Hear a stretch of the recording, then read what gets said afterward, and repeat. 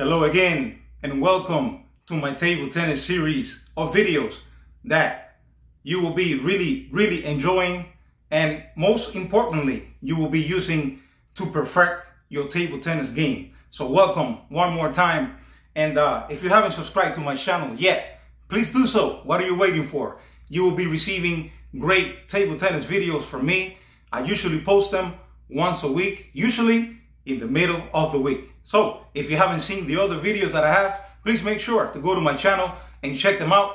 They're right there, especially waiting for you. So in the previous video, I talked about how to do the perfect forehand. Really hoping that you enjoyed that video and you were able to understand the nine key principles of doing a perfect forehand. And today I have a special video for you, which is how to do the perfect backhand in table tennis. That's right. Many people, when you talk about the backhand, they get scared because they think that it's very difficult. No, no, I'd rather do forehand all the time. Totally wrong. You know why? Because the backhand, believe it or not, is one of the easiest shots in table tennis. It's actually easier to do the backhand than to do a forehand. That's right. And you will be seeing that today for the first time. So I will be going over with you the seven key principles of doing the perfect backhand. So in my 20 something years of experience as a professional table tennis coach and top player here in Florida, I was always studying the game, making sure that I learned from the best and examining and thinking about how to do the perfect strokes all the time. So here are basically all the great information that I have acquired over the years, especially for you. So are you ready? Let's go. All right, so the most important thing that you want to do when you do the backhand, always remember the following. The most important thing, like everything, like every other shot in table tennis, first, you have to separate your legs all the time. You have to play with your legs apart at least one meter. Keep that in mind all the time. And then you have to bend forward. Those are the two key principles. No matter what shot you're going to do in the game, those are the two most important principles before starting to do any shot in table tennis. So spread your legs and then kneel forward, right? Bend forward. Okay, so now let's get started. Are you ready? So like I said in my previous video, it is very, very important when you hold the table tennis racket to hold it all the way to the top, okay? With a relaxed manner, never squeeze it hard, just very relaxed. Then, especially now that we're gonna cover the backhand, check it out, very important. The finger has to be here all the time. Do not let this finger go up as you hit the backhand because that ball will be hitting your finger all the time and losing points. So make sure you keep that finger down. How do you do that? Well, by pressing slightly on the finger. That's basically it, all right? So let's go ahead and get started. Are you ready? You're gonna love this. Okay, so the most important thing when doing the backhand, check it out. Always remember this golden rule. You always, always start in the middle of your belly. That's right. You see over here, my racket is in the middle of my belly. Okay, so it always has to be at belly height and in the middle of your belly. In other words, never start a stroke from here or never start a stroke from here. You always start the stroke from the middle of your stomach at the belly height. That is the number one key principle, all right? So always remember that. Now let's go for number two. Extremely important as well. So like I said in my previous video, whenever you do the forehand, I hope you remember the L shape. You always have to have an L shape. You see that? L shape all the time when you whenever you hit the forehand. The same rule applies in the backhand as well. You also have to have an L shape. You see that? This is the perfect position right here. So from the middle of your stomach, belly height, and the L shape on your hand. Okay, so always keep that in mind. So those are the number one and number two. You ready for a third one? You're gonna love this. Okay, so this is one of the most important one as well. That angle. Whenever you hit the ball, it has to have the right angle. Because if you have an open angle, if you're doing everything perfect, but you have an open angle, that ball is going to go up, you're going to miss the table. If you have a closed angle, that ball is going to go down and hit the net. So extremely important to have the right angle. The perfect angle is semi-close. So it's like this, semi-close. Okay, so let's start the position again. From the middle, L shape, semi-close angle. You see that? And then make sure that whenever you go forward, do not, I repeat, do not move this over here. That angle has to be stiff, has to be, you see that? You cannot move this. If you move it even slightly, you will be missing the ball all the time. So I see that a lot from my students. They tend to move this. Do not move this, the angle. Just keep it all the way without moving. Extremely, extremely important. All right, so you ready? Let's go. For the fourth one, which is finishing forward and pointing at your opponent. Okay, it's, that's extremely, extremely important as well if you want to do the perfect backhand. Check it out. It's like this, all right? So, from the middle, L shape. Okay, so now, you always, absolutely always, you finish here, pointing at your opponent all the time. You never go to the side.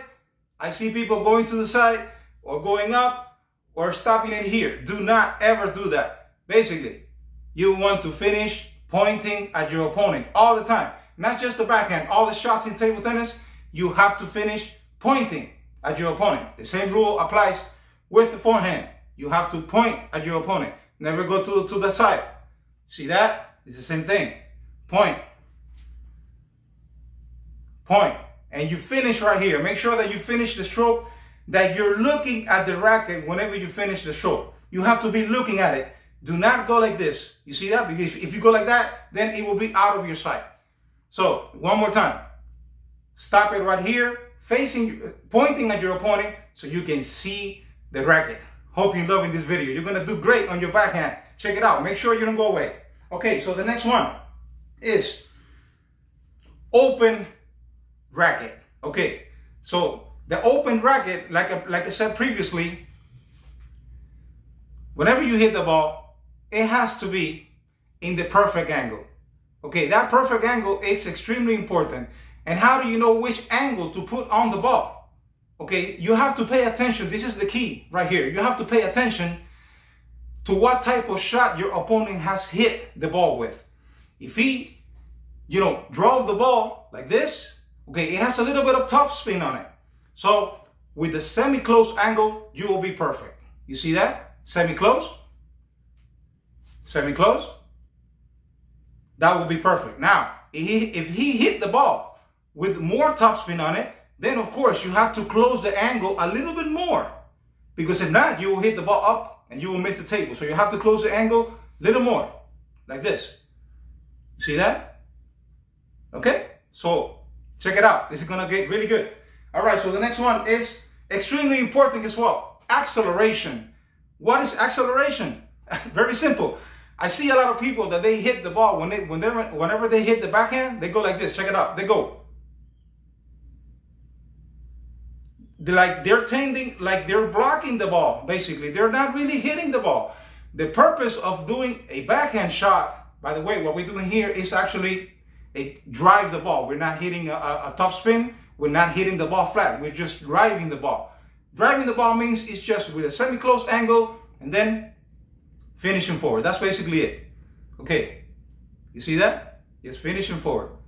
From here, from the middle, and finishing forward. Okay, so I do see many people that they start the stroke, but they do it very soft and they do not accelerate to hit the ball. That is totally wrong because what they're doing is they're basically like blocking the ball. They're just like blocking the ball, blocking the ball, blocking the ball. So the key principle here is the ball is coming, right? So as you hit the ball in that precise moment, you have to accelerate. Accelerate. See that? Accelerate. Accelerate. Accelerate. Very important because that acceleration is the one that is going to guide your shot and give your shot power. If you do not do that, you will basically be blocking the ball. So you want to accelerate in that precise moment. Another very, very important factor as well is this one. Okay? Listen to this. Very important as well. Whenever you do the shot, the backhand shot, you start, right? You accelerate, like I said, and then at the end, check it out. you do have to open the racket angle somewhat. Because if you do this, you see that? You're accelerating, you're not, but you're not, you, the racket is in this angle. You will be putting pressure on your arm and you will be missing the ball. You want to do this at the end. You want to accelerate and then at the end, open the racket angle. Finish with the racket open. You, you have to do that. Extremely important. So accelerate and then open at the end. You see that? Accelerate, open. Accelerate, open. Accelerate, open. Very important to open that angle. If you do not do that, you will be causing great pain to your arm and your shot will not have that perfect trajectory. Okay, so let's go for the last one. Very important as well. The backswing. You on the forehand, okay, you have to do more of a backswing than in the backhand. On the forehand, obviously, you have to go back more as the ball is coming. But in the backhand, you also have to do a backswing, but not as much. Check it out. It's like this. So you start here in the middle, right? And then in the middle, as the ball is coming towards you, you have to take it back and then finish it forward. You're here, back, forward. You're here, back, forward. So remember, the backswing is, is extremely important because the backswing, it's it will start your stroke. It will make your stroke stronger and it will help your stroke finish on the table properly and hit that ball properly, that perfect backhand. Another super, super important factor that I did not put on my list, but I will be going with you over right now is the one as follows. Always, when you're hitting the backhand, always, listen to this, make sure that you always hit the ball from the middle of your stomach. I cannot emphasize that as much because, for example, let's say you're standing right here the ball is coming straight at you. Yes, it's perfect, of course. You do it from your middle. Boom, perfect. But let's say that the ball comes to this side over here.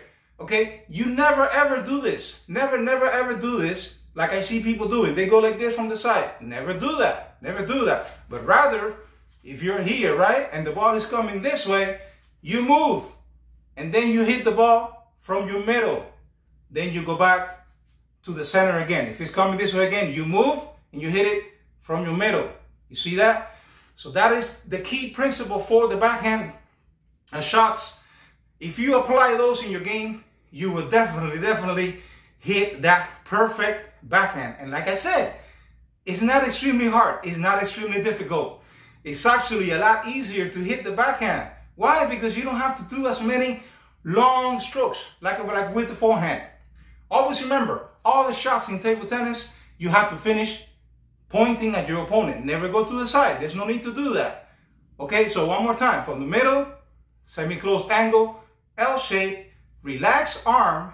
Also extremely important. You have to, as you hit it, you have to have a relaxed motion. You see that? Even if I go fast, my arm is very relaxed. I'm not putting any pressure on my arm. At the moment that you hit, mm, mm, that you put pressure on your arm, you're gonna mess up the whole stroke. So make sure that you do it very relaxed. Just let the racket go forward with acceleration. Never ever move this. Don't do not move the angle. Make sure that you finish at the end, open. Make sure that you start from the belly, the middle of your stomach. Move. When the ball comes, you move to face you, the middle of your stomach and then you hit it from there. If you apply these principles, I guarantee you, your game is going to skyrocket.